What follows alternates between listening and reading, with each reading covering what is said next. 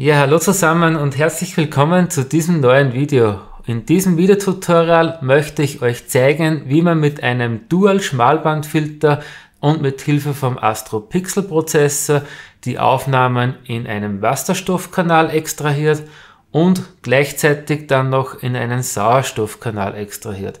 Und am Ende werden wir dann das Ganze wieder zusammenfügen. Und zusätzlich zeige ich euch auch noch, wie man dann mit Hilfe von weiteren RGB-Aufnahmen auch noch die Sternfarben wieder ins Bild zurückholt. Damit wünsche ich euch viel Spaß mit dem Video.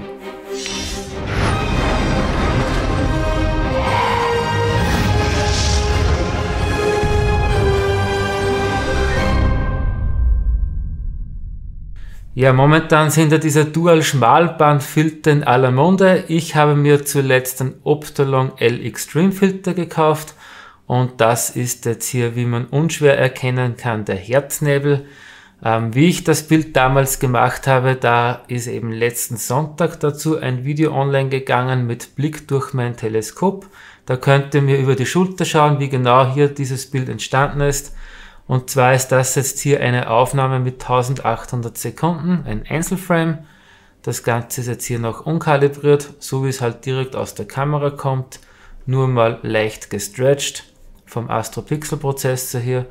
Und ansonsten aber eben noch nichts weiter gemacht. Ich habe jetzt hier aber nicht alle Lights geladen, also ich habe damals so um die 7 oder 8 Stunden Belichtungszeit gesammelt von diesem Schmalbandfilter und damit es jetzt ein bisschen schneller hier geht in, in diesem Videotutorial, habe ich eben jetzt hier nur vier Lightframes hereingeladen, eben mit jeweils einer halben Stunde Belichtungszeit. Und dann habe ich hier noch das Master Flat und das Master Dark hereingeladen. Und ähm, jetzt werden wir zuerst einmal das Bild splitten und zwar einmal in den Wasserstoff-Alpha-Kanal und dafür geht ihr hier auf den Reiter 0 und ja, wichtig ist erstens einmal hier dieses Häkchen, das gesetzt ist, dass eben das Ganze auch debayert wird. Ja, und dafür klickt ihr jetzt hier bei dem Algorithmus einmal hier auf dieses Drop-Down-Menü und fährt hier mal ganz nach unten und dann gibt es eben jetzt hier vom Astro Pixel Prozessor speziell für diese Dual Narrowband Filter zwei verschiedene Methoden, das Ganze eben zu debayern und dann auch zu stacken. Und zwar gibt es eben jetzt hier mal den H-Alpha-Kanal. Jetzt werden wir das mal mit dem Wasserstoff-Alpha-Kanal stacken und dann anschließend noch ein zweites Mal mit dem O3-Kanal. Und ja, der Rest bleibt eigentlich hier alles komplett gleich, wie wenn man es halt jetzt ganz normal stacken würde, die Aufnahmen. Also ich stelle eigentlich hier normal nie irgendwas herum. Ich lasse hier alles auf Automatik, gehe hier auf Integrate und dann gehe ich eben hier auf Integrate und dann benennen wir das Ganze, das heißt hier IC 1805, der Herznebel und dann benennen wir das Ganze noch mit H-Alpha-Kanal. So, und dann lassen wir das Ganze hier mal durchlaufen und dann geht es gleich weiter. So, das Ganze ist jetzt hier fertig mit dem Stacken. Und das sind jetzt eben hier, wie gesagt, die viermal halbe Stunde Belichtungszeit an H-Alpha-Kanal. Und das ist natürlich jetzt hier mal eine Schwarz-Weiß-Aufnahme. Und das ist jetzt hier diese Datei, die Integration 1. Und die müssen wir jetzt hier zuerst einmal aus der Liste hier entfernen. Und dazu gehen wir jetzt hier mit der rechten Maustaste eben hier auf das Integrate 1 und dann auf Remove. So, und dann gehen wir wieder in den Reiter 0 und dann stellen wir jetzt hier auf Extract O3 und dann fragt er uns jetzt hier, ähm, ob er die ganzen Bilder wieder neu normalisieren soll. Und da sagen wir ihm jetzt hier ja, das soll er machen. Und dann gehen wir wieder auf den Reiter 6 Integrate und hier wieder auf Integrate. Und dann benennen wir eben die Datei O3, gehen hier wieder auf OK und dann lassen wir das Ganze jetzt hier erneut stacken. Ja, und damit haben wir jetzt auch den O3-Kanal hier extrahiert. Also das funktioniert wirklich wunderbar mit einer normalen One-Shot-Farbkamera, ähm, dass man eben hier den Wasserstoff Alpha und den O3-Kanal mit so einem Dual-Schmalbandfilter ähm, extrahiert. Also da bin ich wirklich auch ganz begeistert, wie gut das funktioniert. So, jetzt löschen wir das Ganze hier mal alles raus. Gehen wir hier auf Remove und dann gehen wir hier wieder auf den Reiter Lord und dann laden wir sich jetzt eben hier die beiden ähm, Kanäle eben jetzt hier rein. Jetzt haben wir eben hier wieder den H-Alpha und hier den O3-Kanal extrahiert. Und entweder ihr kombiniert jetzt dann gleich mal diese beiden Kanäle gemeinsam zusammen oder aber ihr macht es so wie ich, dass ihr dann auch noch Sternfarben bekommt, dass ihr dann auch noch RGB-Daten dazu nehmt. Und dafür müsst ihr natürlich dann nochmal ähm, eben den Herznebel jetzt in dem Fall fotografieren, jetzt ohne diesen Schmalbandfilter, sondern eben dann nur mit einem UV-ER-Cut-Filter zum Beispiel, also so, dass ihr eben dann die ganz normalen RGB-Daten habt. Ja, für alle, die sich vielleicht jetzt schon gefragt haben, was passiert eigentlich, wenn man die Schmalbanddaten ganz normal stackt, wie man halt den normalen RGB-Daten stackt, also hier mit diesem ganz normalen Adaptive Array Disk äh, Algorithmus und da kommt eben dann sowas hier heraus. Dieses Bildergebnis erreicht man halt, wenn man das ganz normal stackt und eben das jetzt nicht in H-Alpha und O3 trennt. So, das nur mal so am Rande, das lösche ich jetzt hier mal wieder und ich habe mir jetzt hier mal die beiden Bilder jetzt hier hereingeladen. Einmal wieder den extrahierten O3-Kanal, äh, Wasserstoff-Alpha-Kanal, dann hier den O3-Kanal und dann habe ich eben auch nochmal siebeneinhalb Stunden für RGB äh, belichtet und das habe ich eben dann auch gesteckt. Eben ganz normal, wie man halt die Bilder normal stackt, also dann eben mit diesem Algorithmus. Das ist eben jetzt hier das Bild ohne diesen Dual Schmalbandfilter und nur mit dem UV-IR-Cut-Filter. Also das Bild habe ich jetzt eben hier gesteckt, den Astropixel Prozessor und dann habe ich noch die ganz normalen Tools hier durchgeführt, wie dieses Remove Light Pollution und das Calibrate Star Color. Und wie ihr eben jetzt hier seht, ist natürlich das jetzt hier nicht aufeinander registriert zum Wasserstoff Alpha Kanal. Das ist sogar komplett um 180 Grad gedreht. Und damit man jetzt all diese drei Bilder in ein Bild vereinen kann, müssen wir das Ganze jetzt zuerst einmal aufeinander registrieren und das funktioniert einfach so, da geht ihr hier auf den Reiter 4 Register und dann fährt ihr hier ganz nach unten und dann klickt ihr hier zuerst einmal auf Start Registration. Ähm, achso, jetzt, da will jetzt die Light. Okay, dann müssen wir das Ganze hier als Light laden. Okay, dann entfernen wir das Ganze jetzt hier noch einmal. Und dann laden wir sich jetzt hier die Bilder als Light Frames herein. So, das waren jetzt hier diese drei. So, jetzt haben wir hier diese Bilder als Lightframe hereingeladen. Dann gehe ich jetzt hier wieder auf den Reiter 4 Register und dann Start Registration. So, die Bilder sind jetzt hier aufeinander registriert und dann klicken wir als nächstes auf Save Registrated Frames. Und jetzt werden eben die Bilder äh, jeweils gespeichert ähm, mit dem Anhängsel minus reg hinten dran. Ihr seht jetzt hier, da haben wir jetzt eben hier drei weitere Dateien, hat uns jetzt eben hier gespeichert. Und das heißt, die oberen drei, die können wir jetzt hier wieder entfernen. Und jetzt müssten eigentlich die Bilder alle deckungsgleich übereinander liegen. Ja, und das tut es auch. Also jetzt haben wir das RGB-Bild auf die beiden Bilder eben hier deckungsgleich übereinander gelegt. Okay, dann können wir jetzt die drei hier wieder entfernen und dann gehen wir hier auf Tools.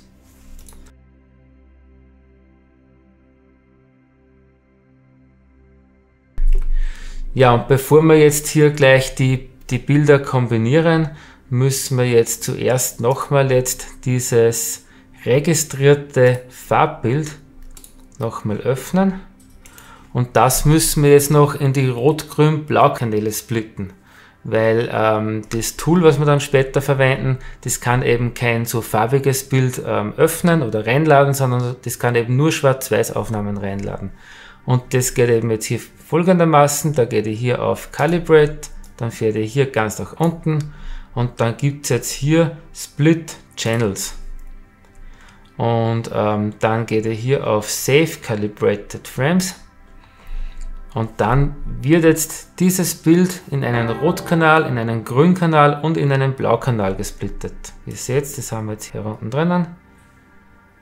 So, das ist jetzt hier der Rotkanal, dann der Grünkanal und der Blaukanal. So, das können wir jetzt hier wieder rauslöschen. Und jetzt gehen wir hier auf Tools und dann auf Combin RGB. Und jetzt werden wir das Ganze eben wieder miteinander kombinieren. Und wenn ihr jetzt hier in diesem Fenster herinnen seid, dann müsst ihr hier zuerst auf Add Channel klicken. Und so, dann gehen wir jetzt hierher. Und laden wir sich eben jetzt hier den Herznebel HA Reg. So, jetzt fragt er uns jetzt hier noch, was ist das eigentlich für ein Kanal, beziehungsweise mit welchem Filter wurde das Bild hier gemacht. Das wurde mit dem Wasserstoff-Alpha-Filter gemacht. Gehen wir hier auf OK. Ja, und merkwürdigerweise kommt hier beim Astro-Pixel-Prozessor dann noch eine weitere Frage hier. Da gehen wir hier auf Cancel und dann nochmal auf Cancel. So, und jetzt haben wir hier diesen Kanal hier. Dann nochmal auf Add Channel, dann nehmen wir den Sauerstoffkanal Gehen wir hier auf Oxygen 3, auf OK und dann wieder hier auf Cancel und wieder hier auf Cancel. Und da müssen wir jetzt noch ein weiteres Mal den Sauerstoffkanal nehmen. Hier stimmt es jetzt schon, O3. Passt. So, jetzt haben wir mal diese drei hier herinnen und jetzt können wir schon mal auf Calculate hier klicken und dann haben wir schon mal ein erstes Vorschaubild und da können wir eben jetzt hier noch ein bisschen an den Reglern herumziehen. Und zwar ähm, gehe ich jetzt hier mal ungefähr so auf ja, knapp das Zweifache. Und da müsst ihr halt immer ein bisschen herum experimentieren, äh, welcher Regler jetzt ähm, welches Ergebnis liefert. Ähm, dann beim zweiten O3 habe ich die Erfahrung gemacht, sieht es am besten aus, wenn man hier so auf 1,6 stellt und beim unteren O3 auf 2,0. Mit den Pfeiltasten links und rechts könnt ihr eben das Ganze dann eben hier auf ganz genau 2,0 einstellen. Dann gehen wir hier wieder mal auf Recalculate. So, und dann hier bei diesem Sauerstoffkanal, das Blau, gehen wir hier auf 66 zurück. Und bei dem unteren gehen wir das Grün hier komplett raus, das heißt, dass hier nur das Blau herinnen ist und die Luminanz noch auf 33 stellen wir mal. Und dann haben wir eben jetzt hier dieses Ergebnis. Dann können wir jetzt hier noch die Luminanz beim ähm, Wasserstoffkanal ein bisschen hochziehen. Und eventuell hier noch beim Grünkanal. Und zwar dann wird eben das Rot nicht ganz so rot, sondern mehr so leicht golden. Also das ist halt immer ein bisschen Geschmackssache, was halt dann wem besser gefällt. Ähm, ihr seht, jetzt habe ich hier auch schon die Sättigung ein bisschen hochgezogen. Ähm, ja, gehen wir vielleicht hier wieder ein bisschen zurück, mal auf 22 und dann wird es wieder eher ein bisschen rötlicher oder auch noch ein bisschen weiter zurück auf 14. Das ist halt immer Geschmackssache. Ich kann jetzt auch hier mal noch den, ich weiß gar nicht, was das überhaupt oben ist. Ich glaube, so eine Art Multiplikator ist das. Ich ziehe den jetzt hier mal ein bisschen rauf. Und dann kommt einfach der Wasserstoffkanal noch stärker heraus. Und das, der Sauerstoffkanal, also das Bläuliche, wird halt ein bisschen mehr zurückgedrängt. Das war jetzt vielleicht ein bisschen zu viel. Gehen wir vielleicht so her. Ja, im Grunde wäre die Schmalbandaufnahme dann so auch fertig jetzt vom AstroPixel-Prozessor her. Da könnte dann hier auf Save gehen und dann wird das Bild eben so als FITS-Datei gespeichert und dann kann man es eben noch ganz normal weiter bearbeiten, in Photoshop zum Beispiel. Aber wir wollen ja jetzt hier auch noch Sternfarben haben und dafür haben wir extra vorhin die RGB-Aufnahmen gemacht und jetzt versuchen wir noch, dass wir auch die hier noch dazu mischen. Und dazu gehe ich jetzt hier wieder auf Add Channel und dann haben wir jetzt hier diese drei Farbkanäle, was wir vorhin gesplittet haben. einmal hier diesen Blaukanal, öffne ich den jetzt hier mal. Dann sage ich jetzt hier, okay, das ist der Blaukanal. Gehe hier auf OK. So, hier wieder auf Cancel, wieder auf Cancel. Dann Add Channel, den grünen Kanal. Dann müssen wir hier auf Green gehen. Okay. Hier wieder zweimal canceln. Dann den Rotkanal noch. So, Red passt. So, und jetzt haben wir eben auch die noch hier. Einmal den Blaukanal, da ist hier eh blau schon auf 100, dann den grünen und den roten. Dann gehen wir jetzt hier nochmal auf Calculate und dann schauen wir mal, was passiert. So, und jetzt haben wir wieder viele, viele Sterne, aber wenn man jetzt hier mal reinzoomt, die sehen alle ziemlich grün aus. Und deshalb bin ich dann einfach hergegangen und habe hier beim Grünkanal das Ganze mal auf 50% hier reduziert. Dann wieder auf Calculate klicken. So, und jetzt sieht das schon wesentlich stimmiger aus von den Farben her. Und jetzt sieht man auch hier, jetzt haben wir hier ein paar blaue Sterne, ein paar orange, gelbliche Sterne, hier auch rote Sterne. Also jetzt haben wir hier wieder alle Sternfarben zurückgeholt und so können wir das Ganze eben dann hier speichern. Aber wie gesagt, ihr könnt natürlich hier selber noch ein bisschen experimentieren mit den ganzen Einstellungen hier. Also das ist eigentlich fast eine Neverending Story und ja, ich kann mir eigentlich auch vorstellen, dass das wahrscheinlich auch bei jedem Objekt ähm, ein bisschen anders zu einstellen hier ist von, von den ganzen Reglern hier. Ähm, ja, da muss man halt das ein bisschen so ins Gefühl bekommen, aber meine Einstellungen habt ihr jetzt hier mal gesehen, wie ich das jetzt hier gemacht habe und welches Ergebnis das ich jetzt dann dadurch eben erreicht habe. Und darum soll es eben jetzt hier in diesem Videotutorial auch in erster Linie darum gehen. So, jetzt gehen wir hier auf Save dann fragt er uns, wie wir eben jetzt hier die Datei benennen wollen. Nennen wir es einfach mal, ja, nennen wir es Herznebel und OK. So, dann können wir jetzt hier auf Cancel klicken und dann haben wir hier diese FITS-Datei.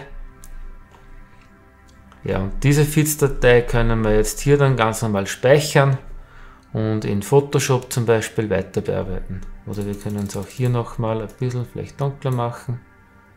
Also den Schwarzwert, oh, das wäre schon zu viel.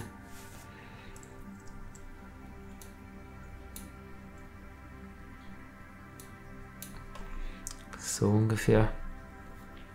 Hier übrigens kann man auch mit dem Pfeiltasten ein bisschen nach links oder rechts ziehen und dann wird, geht das Ganze noch ein bisschen feiner zum heller und dunkler machen. Das habe ich letztens mal zufällig entdeckt. Ja, und so würde ich das Ganze jetzt eben dann mal speichern und die restliche Bildbearbeitung dann eben in Photoshop noch machen. Ja, das ist jetzt hier übrigens meine fertig bearbeitete Version. Also da habe ich eigentlich eh genau die Schritte durchgeführt, die ich bei all meinen Astrobildern mache. Da gibt es eh schon jede Menge Videos hier auf meinem Kanal. Vielleicht noch eins ganz interessant, und zwar kann man hier eine selektive Farbkorrektur eben noch durchführen in Photoshop. Und das ist vielleicht hier eben gerade bei solchen Schmalbandaufnahmen ähm, etwas spezieller. Zum Beispiel jetzt hier diese Rottöne kann man eben dann hier noch relativ schnell und einfach eben selektiv anpassen. Ihr seht, was eben jetzt hier passiert, wenn ich das Ganze jetzt hier so ein bisschen ziehe. Also je nach Geschmack natürlich wie es einem dann eben gefällt, kann man das Ganze jetzt eben hier noch ein bisschen anpassen. Ja, das soll es jetzt hier an dieser Stelle gewesen sein.